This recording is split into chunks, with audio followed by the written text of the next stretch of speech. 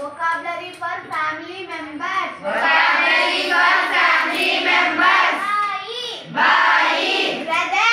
Brother. Bhaiya. Bhaiya. Elder brother. Elder brother. Behan. Behan. Sister. Sister. Didi. Didi. Elder sister. Elder sister. Beta. Beta. Son. Son. Beti. Beti.